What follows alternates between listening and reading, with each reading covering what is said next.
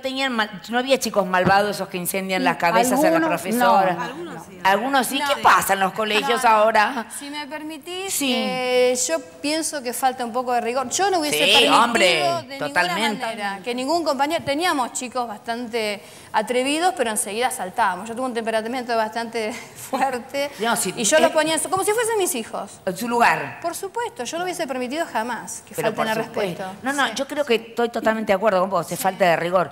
Nosotros cuando íbamos al colegio, primero la maestra nos la llamaba, che, Nora, eh, che, Cachita, no. Era señorita fulana, puedo, permiso.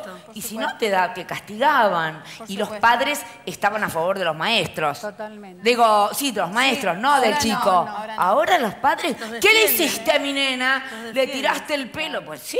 Bueno, pero esa es la consecuencia, me parece a mí, de lo que es la, la falta de valores y cómo se fueron cambiando las Lo cosas. que cambió la Argentina. Lo-